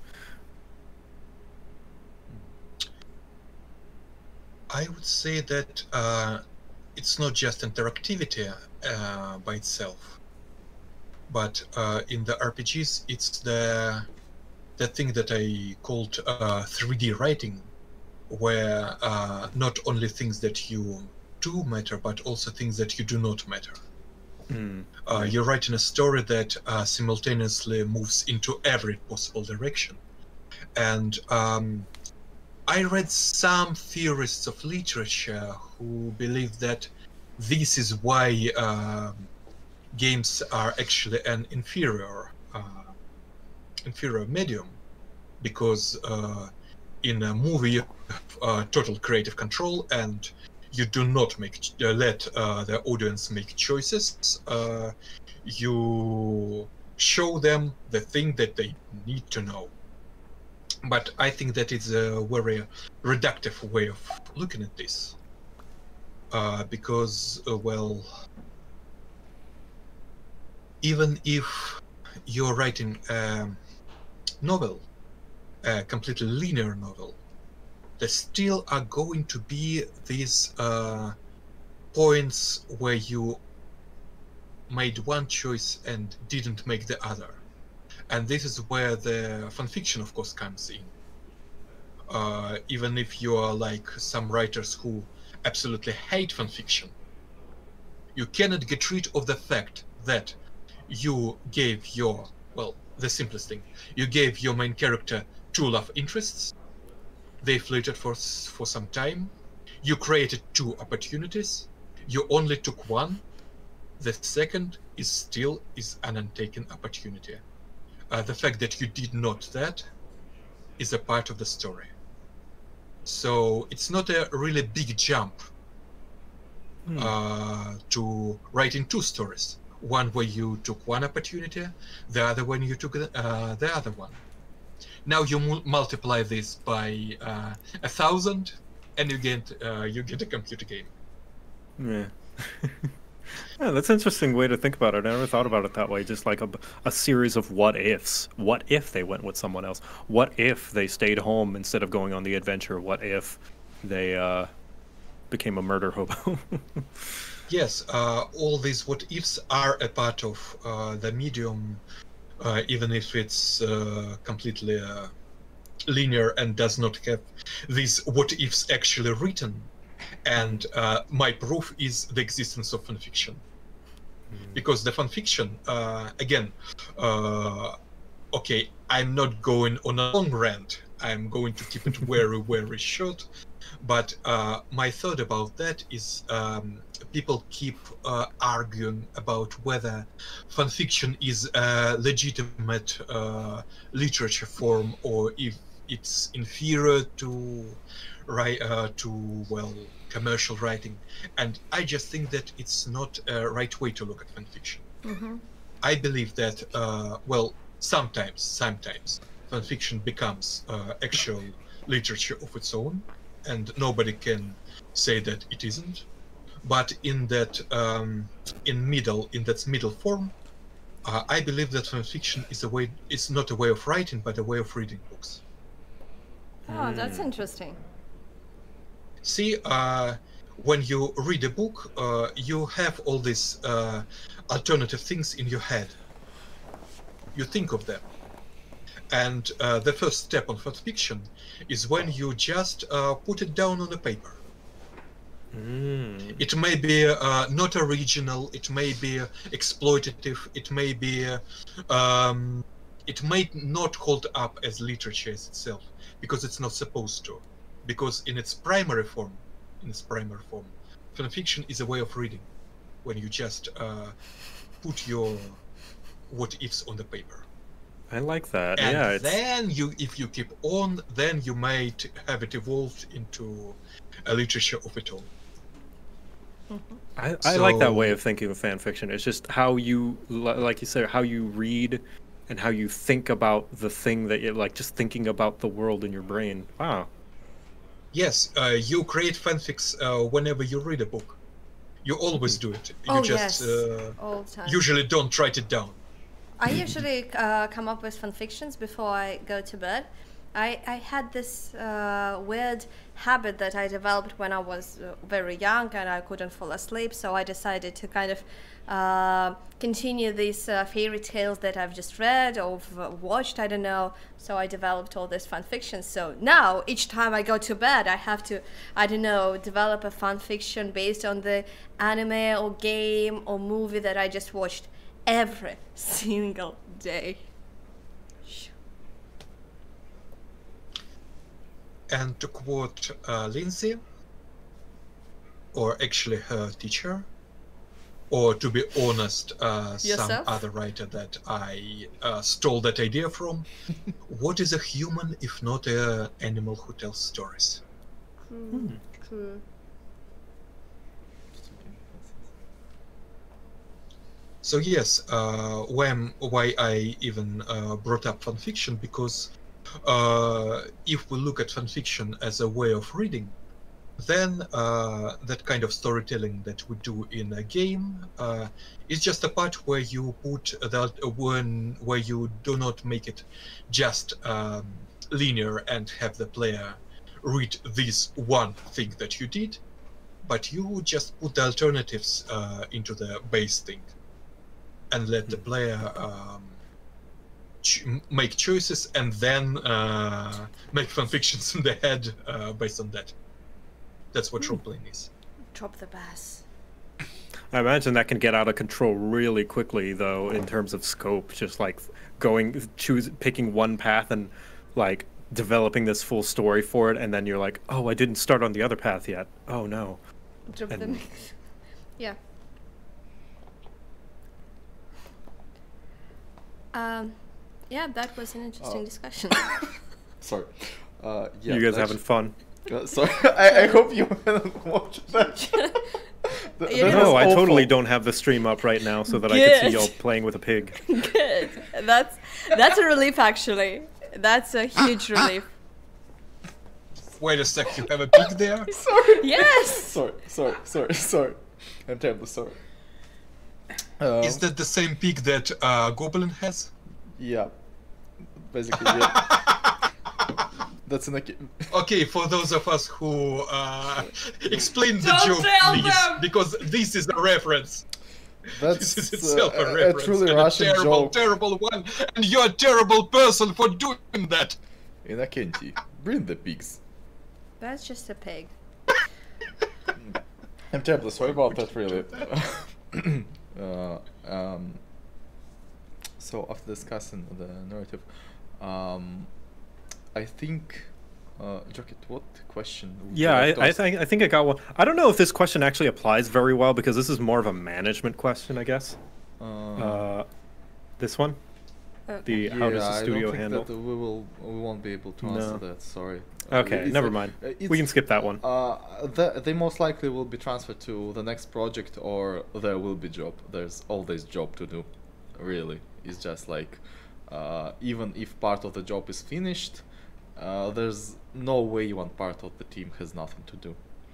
hmm Th- There's There's always a always something. constant. Uh, it's a constant thing. Yeah. Uh, if they finish this part, we will go to the next project, like with every other work. There's no. mm, No sitting around Yeah. and playing. Just like work, work, work. Sometimes What you waves? even don't have time to do everything you want because there's not enough time. Can I ask a? Uh, we're, it's funny because we actually touched on a lot of these just through natural discussion, so it's kind of like yeah, crossing them off. But um, may I ask a another personal? It's not as gross, but but another personal question. yeah, sure. I think uh, if we won't, to, wouldn't like to answer it, we won't answer Yeah, it. Yep. Yeah, I, I guess just uh, what are y'all's favorite like non RPG games? Oh, um, that's easy. I love grand strategy games and cos- Mm. uh, Cosmos simulators, like uh, Mm. Elite Got- Dangerous and uh, Warhammer Total War and Imperator Rome. I think top three strategies for me, and Cosmos Sim. Mm. Do you like Civilization at all? Um, I prefer Age of Wonders. I re- Wonders. yeah, I- think it is much better game and much more fun than Civilization Six. Hmm. and and Cosmo Simulators because I love space. Space is awesome. exploring exploring new stuff is uh, I don't know how to put it. It's just a dream of mine, I think, but not the one uh, you try to achieve because it's just like, yeah, it would be cool and awesome to be uh, a pioneer in the space, but you're just like, eh, no one goes to space for uh, haven't gone to space too far for a long time, and only now we're thinking about achieving something bigger than sending people to the orbit. So there's that. Uh, yeah, and uh, summon the elect- obviously summon the elector counts and bring me to my men. Is it a Warhammer reference? Yeah, that's a- Because uh, it's, that's a it's Karl always Franz if there's a reference. it will be Warhammer references. I, I get it. I, I'm learning this, but while watching the Twitch streams, people discussing if there is a reference, Warhammer. Yeah. Well, it's a, it's a- it has great characters and memeable moments. So, hi, JoCat, Julia, what are your favorite games? Yeah, non-RPGs, non-RPG. Because we could talk, I, we could talk about RPGs all the time, but I want to, yeah, I want to hear about like other genres y'all play. Well, are you talking about uh, video games specifically, or all kind of games? Any kind of, if you you know prefer to answer not video games, just like other Well, with video games, I play really almost all kind of games. It's easier to say what I don't play. Uh, I don't play many grand strategies, and I don't play many simulators, Mhm. and I play everything else. Like, But what are Mm, your what are your right favorites? I would say. Okay, uh, I love uh, I love point and click games, and uh, recently there has been a little mm, renaissance of that uh, supposedly dead genre. And shout out to Wadjet Eye Games who made the Blackwell series, which is an absolutely beautiful uh, urban fantasy with ghosts and uh, demons and uh, people who try to manage them in modern world. Uh, I love horrors. Uh, another shout out. Currently, uh, there's a series of tiny games. It call it's called uh, Dread X Collection. Yeah, I know. I know. Uh, one of the people who worked on Dread X Collection. Yeah. Oh, I absolutely love that. Um, well,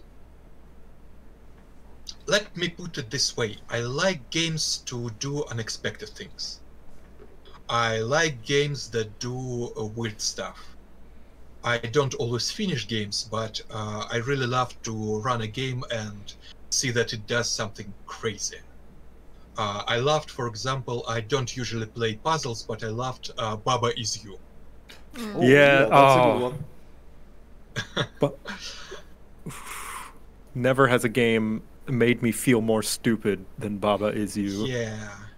So, uh, from many points of view, from game design, uh, see, I'll I try to look at games from uh, different points of view. I like to look at them uh, like a player, so I could just have fun. Because you know, it's really easy to burn out and stop having fun when games are your job. Mhm. Uh, I love um, another cool example is uh, well, it is an RPG, but it's very um, uh, unconventional one. It's called Hylics. Mm. Hylics, do you know that one? Mm-hmm. Ah, the one Could from do. uh, Gothic Creator? Ah, no, it's Elex. No, no, no, no, no. It's Elex. Hylics. No. No, okay, Uh, the thing about is uh, it is that uh, it is surreal. All of the text is machine-generated garbage. Like all the text that you read makes no sense. so it's All the ba- text in the game is completely bonkers. uh, so it's basically and- Ulysses of game development. yes. Sorry. Uh, and the visuals, uh, visuals are crazy too because they're made of clay. like do you remember um, what it was called? Uh, Neverhood. Neverhood. Mm-hmm. Kind of like that. Yeah. It's made of clay, and then that clay is uh, um, is put into very low resolution uh, resolution uh, low resolution pictures. Uh, so it looks like um, a game that could be made in maybe 90s because of that.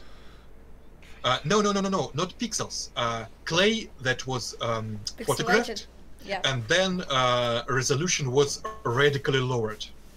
So it still looks like uh, uh, it looks like what you could see in a game from 90s where they took a low resolution photo and uh, put it into a game. Mm, It kind of like the old. bonkers and uh, I, yeah, aesthetically it's wow, it's just out there. Cool. Um, I really really loved uh, Death Stranding because of just how weird it is.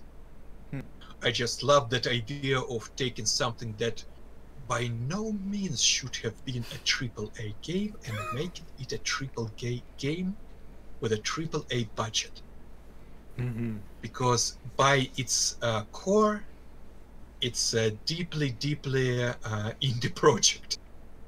It's a weird thing by, uh, well, it has a vision, and the vision is absolutely bonkers, and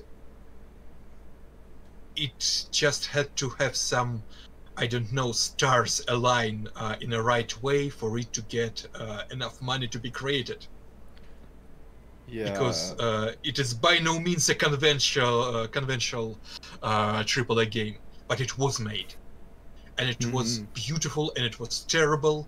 It was exciting. It was uh, tedious. It was frustrating. Uh, it made me uh, it made me tear up. Uh, it made me want to tear my controller away and just break it. Uh, it was a hell of a journey. So what I'm trying to say is that uh, I like it when a game makes me surprised, and any game can do that. Uh, I think I will cancel my, myself right now. Basically, when I will say I will tell what I like.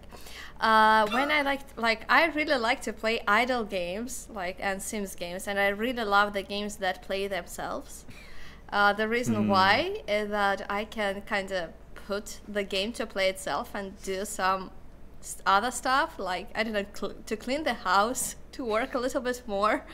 And that's why I usually uh, watch Twitch streams just to see how people play the game. That's kind of me being productive. You kind of play the game through someone uh, else's experience, and then you do something else. Yeah. What's your favorite idle game? Uh, I don't know. Actually, I've played a l- lots of them. I can't say that I have a one favorite idle game because usually after 100 hours, you kind of change the game and go to uh, like just change the game. just like yeah, that's enough How for many me. hours? Uh, 100, 300 hours. It's idle game. It's just there. It's just playing Yeah. itself. Or you could play multiple of them at once. They're idle I, games. you don't have to do I anything. used to do that as well. I just like two or three of them on my background while I'm doing something else. So yep, Have you played Loop Hero? I did. of an- Ah, yes. I, I- I know about Did one like idle game that is uh, the one from Wizards of the Coast about. Oh yes, this group. one as well. I played that one. I played all of them. Loop Hero, I, I liked it. personally, I personally go back to Cookie Clicker every now and then. Oh, Cookie Clicker. Yeah, played that one as well. No, no, Just no. the purest form. the people mixing up idle game and idle game. And Oh, yeah, no, we're not, I- we're not, we're not talking about idols like the anime dancing on the stage with the singing. No, we're actually, that was the first thing I thought that uh, you just yeah, said about like- idle games. I was like, Yeah, "Wha- wait, idol. idle games? By No, way, no, what, no. what's about Actually, visual are there novels? idle idle games? idol I. Oh my god. I'm sure there's one out there where, where you just you 100%, just got your idols dancing and then you get I don't know cheer points or something. If not, someone should make that. Make that an Oh, idle that's game. Really good. Uh, idle, oh my god. An idle idle game. By the way, what's about visual novels? Oh no? Used to play them. Ah, I, I actually love only I love one dating sim. That is maybe a visual novel. Dream Daddies. Oh, oh, I, I didn't I play that. I, Finished, s- uh, I finished it several times. Eee. They're all cool. I really love the cast there. But yeah, you heard Lisa. She's here helping us. Yeah, in the background. does uh does Ace Attorney count? They're kind of like visual novels, right? Mm, maybe. Kind of, Kind of, yes. yes. Yeah. Yeah. I would say Yeah, I like. I like I like me some Ace Attorney. Maybe we shouldn't mention it because some Russian memes. uh, anyway, I wanted another question. There was actually an interesting one uh, that you asked me, and we wanted to ask to our awesome developers. Um, and I think it's a bit of a pain, maybe uh, if they won't don't want to ask it. It's okay. What is the request uh, the we get most often, oftenly uh, from the players, and the reason why we won't do something? Yeah, I, I asked that one because I, you know, uh, understandably that's more of a management question as well, Yeah. or like a director question. So it's okay if you guys can't really answer it. But yeah, I, I just wanted to throw that out there because again, players don't really know a lot of what goes on behind the scenes. I know that uh, players, me as well, me as a player in our game, we always request more romances. Like this is all the time. We need more romances. And Romance- portraits! romance, portraits, but romances mostly just like we need more romance. Hmm Yeah. And and why can't you? I, I know most a lot of the time it's just time. Yeah. We can't because oh, time. let me tell you, let me tell you.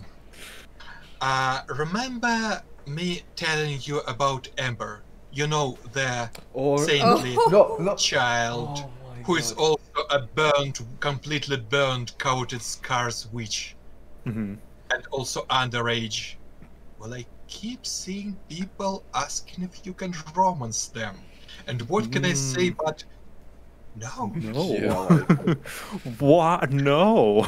yeah. get help. It's sometimes, uh, as I understand it, sometimes this is not good for a character arc that is presented. For example, it doesn't fit for that character. yeah.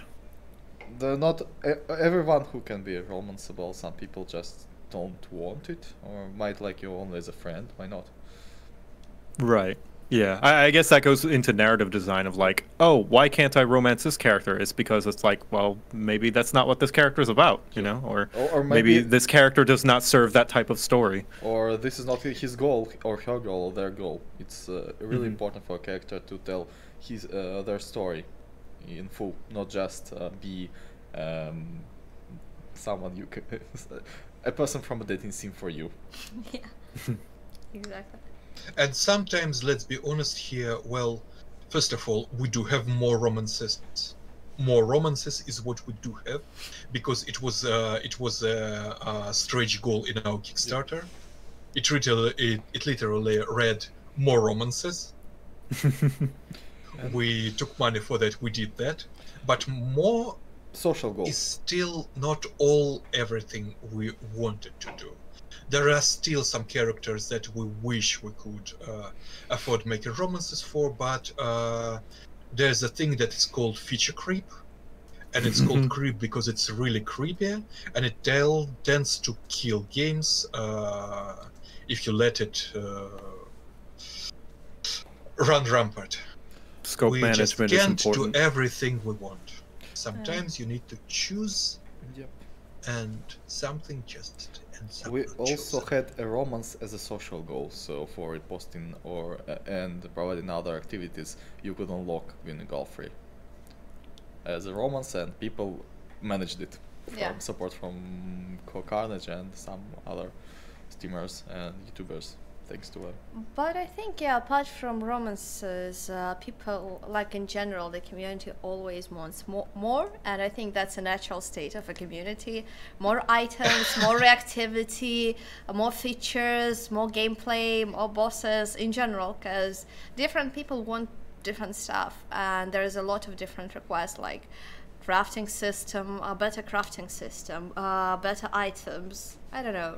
Lots of that. There's a comment that see she understands us. Um, actually, most of the people in the team, uh, I think all the people in the in the team understand that there's really a lot we could add. But if we will add infinite number of things to the game, it will take infinite It will number never of release, hours yeah. to make It'll it. never yeah. come out. Yeah. Yeah. So You've got to ship eventually. so this is Uh, why do you have. remember? Uh, do you remember the success slash failure story of one of the big uh, Kickstarter gaming projects, uh, Broken Age?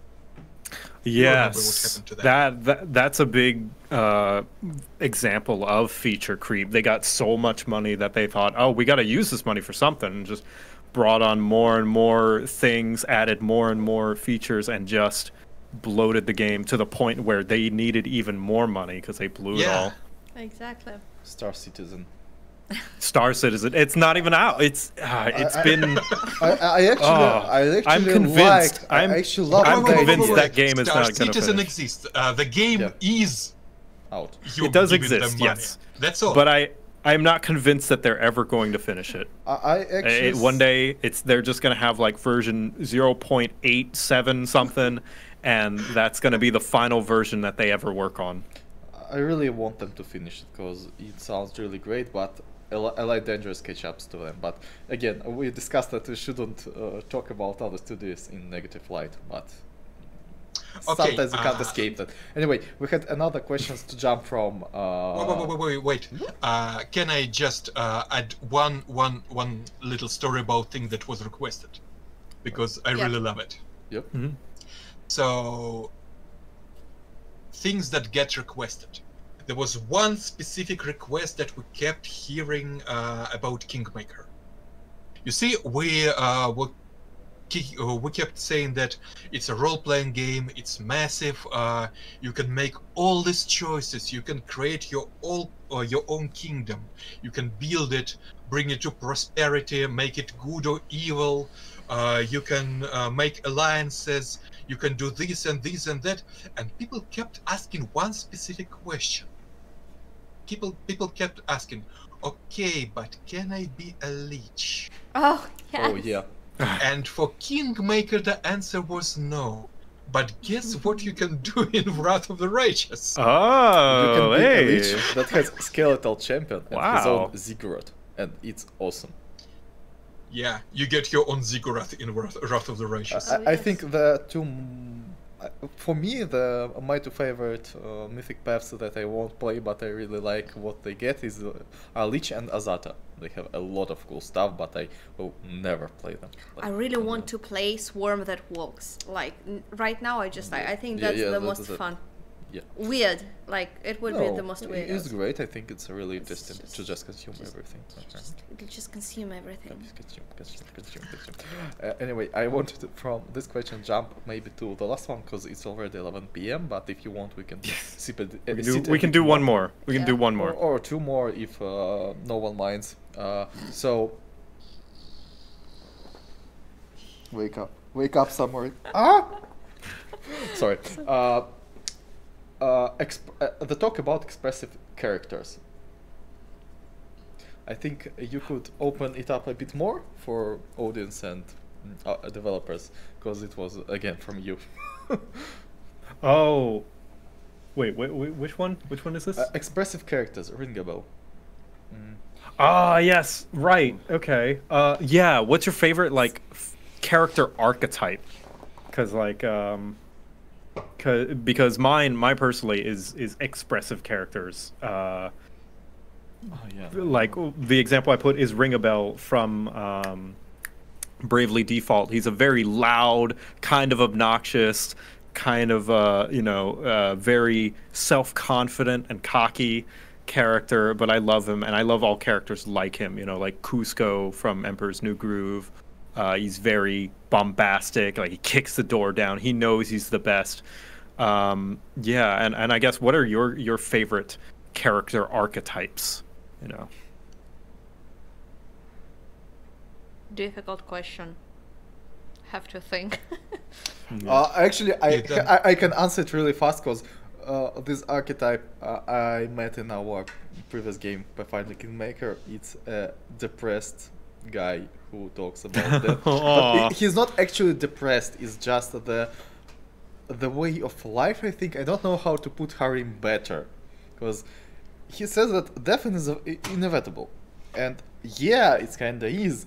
And his uh, position in life about that is, yep, fine. We will go. Hmm. We will die anyway. What's the problem? Uh, I actually would never like to leave or spend spend a lot of time with such person because yeah i was such a person s- back in Hmm. Do you have any examples of that kind of character? I, I actually can't recall other examples of such character. Maybe Thai could help me here. Just someone like harrim maybe chat can help us. Any other Uh, characters like harrim our Max favorite Payne. dwarf dwarf sorry. Max Payne. mm, Yeah, I guess Max Payne is one of those where he's like, yeah, things suck, but you just kind of need to continue anyway. Yep. That might be the close one. Yeah, I I like Max Max Payne really. No, no, not from uh, Rorschach. Pathfinder. Oh, no, Rorschach is more like regular, I think, for me. No, yeah, Ro- Rorschach is like, no, no, no. Yeah. Yeah, I- I, I think they call I it mean, the. Uh, Rorschach is a literal doomsayer. Uh, spoiler, spoiler. When he's not uh, doing superhero stuff, he literally walks around with a True. "the end is nice" sign. yeah, he's Yeah. kind of a crazy person. Yeah. no, yeah, I, I think I think they call it the positive nihilist, like the person who's like nothing matters, so might as well have fun. you Yeah, know? I, I think that's a character archetype I really love. Mhm. Yeah, I'm trying to think as well. I don't know. So, what Oh, about funny, you, uh, finally, uh, you say positive nihilist. Uh, that's exactly what um, that's exactly what Ember is. She's like Mm. the opposite of Harrim uh, because she uh, is a character who went through um, who went through complete despair and hopelessness and emerged on the other side of it. Hmm. It's like uh, gods will not help us. Nobody's helping us. So that's why we'll have to do miracles ourselves. I guess that's what she says. It's cute. yeah. I just realized actually the kind of the characters that I like in general. Like, I think I really liked uh, Mulan from the Disney cartoon. That's uh, I really like that archetype, and in general, I like uh, the archetype of person who prevails against all odds, who can do stuff, uh, who can be just like, yes, we have to do that. We have to be smart. We have to, I don't know, come up with some ideas how to resolve it. And I really loved uh, the Shepard from Mass Effect 1 and 2, and almost till the end of Mass Effect 3. Endings not included. Uh, this is also was like especially kind of renegade Shepard. I really like that. It was like, yeah, let's do stuff. Yeah, there's something inspiring about a character that It just has such determination to Exactly. just get things done, even when everything is against them. They're just like, Huh. I don't care, I'm doing this. Actually, no. Uh, you're talking about Shepard, and another kind of um, another example of uh, that anti-hero we were talking about. Uh, you see, I played Mass Effect right after I finished playing Spec Ops: The Line. And for those of you who didn't play it, it's uh, it's it's a subversion of a military shooter. Uh, it starts like a regular military shooter. Rah rah! You are the great uh, soldier. You go and do heroic stuff, and the more heroic stuff you do, the more people die needlessly. The more everything is destroyed. Uh, the more you the, the more heroic stuff you do, the more you fail in that game, and you end up a complete wreck of a person. You start like that um, bright-eyed, uh, cool soldier. You end up a complete mess. And after I finished that game, uh, right after that, I started playing uh, Mass Effect, and uh, it it was kind of um, continuation of that playthrough because my Shepard, um, my Shepard was a terrible person. The Shepard I played was uh, a continuation of that character from Spec Ops: The Line. My Shepard was uh, actually a fascist, a supporter of terra Oh. firma, an absolutely insane doomsayer because this is what uh, you can play like that. Um, Yep. You can play Shepard like a person who is uh, the only sane person, right? Mhm. The only person who is uh, right about um, the stuff that's going on with the Reapers. Or you can play Shepard, and I really, really like that idea. Uh, it was uh, it was probably not a healthy headspace to be in, but was a, a- very fun headspace to be in. A completely bonkers um, person who just happens to be right.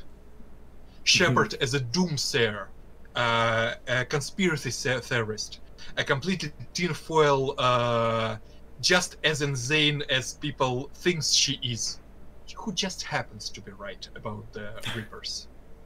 Is that your favorite character archetype? Then? Yeah, it No, like. no, The no, in- absolutely no? not. It's just uh, it's just the kind of Shepard that I played. Yeah. So what were your Uh, favorite It was really archetype? fun, though probably not healthy. Yeah. So what's your favorite? Uh, what is your favorite- favorite character archetype? Uh, I already talked about it. Uh, well, it's not the kind of archetype I like to write. It's the kind of archetype I like to read about. Mm-hmm. Uh, I don't think I am good enough a writer to actually write a person like that, because it's really hard to write.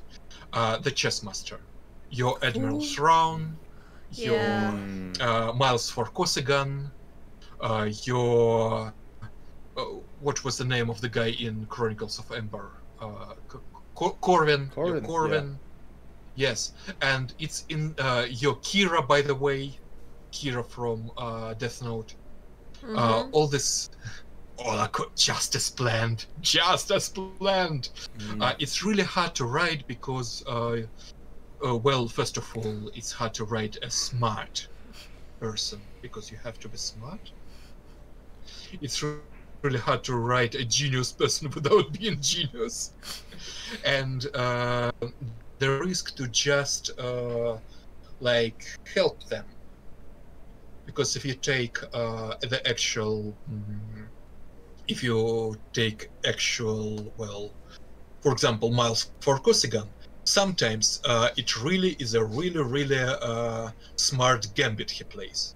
And sometimes the author just handles him victory and lauds him for being so smart when in fact it was just uh, well the author giving them the victory. But when it does work i absolutely love it. And i think uh, admiral Thrawn is so great because uh, well with him the author did not drop the ball anywhere. He just is i i, I believe he is as smart as he seems to be. That's great. Yeah. Those are the characters that even when they're villains, like sometimes you like root for them, and Sure. and whenever they do reveal their plan or like their plan all comes together, you're like, wow! It, Beauty. it can be very mind blowing. yeah, Yeah. that's awesome. yeah honestly But you're right; they're uh, very difficult to do. I don't actually like when there are heroes and villains in the book. I am tired of stories that have uh, that have good and bad guys. I love the stories that have uh, well different sides and different factions, and each faction has its truth, and uh, they just happen to be against each other. And it's a rare thing. It's surprisingly rare. Uh, you're supposed to root for the good guys. Um, the last, uh, well, it, it, it actually did, it actually did hit that archetype. Um, uh, that book is called, uh, what's it called? What's it called? Um, Terra Ignota. Terra Ignota book series. It was a trilogy. It's supposed to have a conclusion. Uh, the fourth book, it's coming out this year, and I'm really hyped about it because uh, it's a story of uh, Terra Ignota. The first book was called uh, "Too Like the Lightning." It's a story about uh, the future, Mhm. and it starts like um, like a utopia. Like it's supposed to be a utopia. It's supposed to be that perfect, perfect future where everything works. And then the author spends four books showing how in a utopia where everybody's right, where everybody's trying their best to do their best, where nobody is actually trying to undermine stuff. Uh, it just is built so that it comes apart. And everybody's trying to save it, but it keeps coming apart. Book 3, spoiler, spoiler, ends with uh, a huge civil war starting. And I really want to see how it all ends in the last book. And it has this chess masters, uh, it has all these uh, gambit pile ups where everybody has their own gambit that just uh, clash with each other and uh, fail spectacularly for everybody. Really, uh, right now it's, it's my absolute favorite book. Uh, That sounds a bit like some version of some anime. like uh, when everyone shows that they have a plan that will win, uh, win uh, over another person, but uh, this time everyone has a plan and it fails. Yeah. But it sounds really interesting, actually. I You should mentioned you you like stories with multiple sides rather than good guy bad guy. Do you like Warhammer? Um, Uh, no, The- I I Mm. do not like Warhammer because uh, it does not. Uh, you see, there's a story where uh, there are good guys and bad guys. Warhammer, I. Okay, No good I guys. can either take it seriously or not take it seriously. If I take it seriously, it's absolute grimdark. It's just too grimdark for me to care about. Everybody is evil. I just Yeah. don't care about any of these horrible, horrible, horrible people. It's Fair. just. Uh, I mean, it's literally the thing that grimdark was called uh, after. In the grim They dark really came future, yeah. Yes. And if you don't take it seriously, well, I I think I actually would like to see a Warhammer thing uh, where it is. Uh, I mean, it's an absurd world. And when I first uh, ran uh, into it, I I was positive that it's, it's a parody. Yeah, it's, It's a everything is grotesque so cartoonishly extreme. And he- Like Yes, almost it should be something like uh, what was that uh, cartoon? Uh, g- g- g- the bar- the barbarian, the cartoon about the bar- Gorgoth the Yes. barbarian. Yeah, yeah. Yes, yes. Uh, it's so over the top. It's so crazy, and um, it's still not my uh, thing. Uh, it's still too cynical and grimdark. But uh, if I ever had to, if I absolutely have to do a Warhammer game, I think what I would do is I would take uh, the rules of the game called Paranoia. Oh, You know that game? yeah, I heard Hmm, about it. I don't think I do. So Paranoia is a tabletop RPG where uh, it's an absolute over-the-top parody of a completely dystopian future where, uh, well, the premise is um, the world is controlled by a computer. It's absolutely um, totalitarian state. Um, in that state, uh, there are two things that are absolutely forgiven, uh, forbidden. First, the mutations. Second is a secret societies. And you play as a group of uh, cleaners who are supposed to root out the uh, secret societies mutants. And everybody in the game is in some secret society and has some mutation. Hmm. It's where you are supposed to get killed for heresy uh, during the game creation, uh, during the character creation, once or twice. I would like a Warhammer take on that. Hmm. If I had Warhammer, but paranoia. Yes, it would be Warhammer, but paranoia. Heresy! Exactly. But no, it's it's not what I like.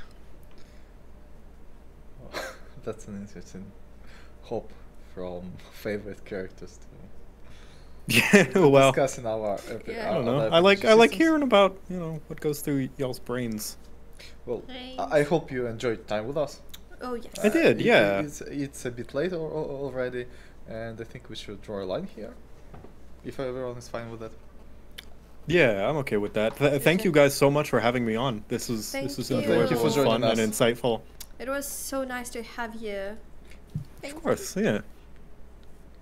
We love you. Oh yeah, thank you. So regarding Thank you so much. results, the, so uh, we have to finish our voting and we have to kind of speak out loud the results as far as I understood. Yeah. So let's see who vote, who won, what will happen with our. Uh, so what happens? I don't see anything. Tell us what, which one, what. So oh, I think we grant the peace to the spirit. Yes, I got it. So we decided to grant peace to the spirit. Commander offers up a prayer to Iomedae. uh, and the spirit uh, dissipates with a blissful smile. His battle is over. Inspired by that act of mercy, the party continues their journey.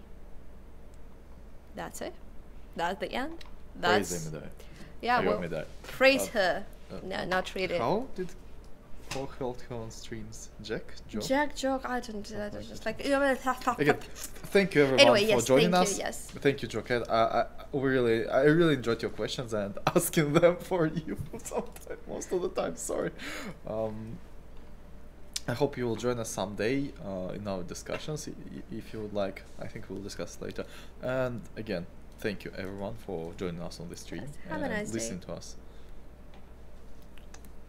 Cheers. Bye. Bye.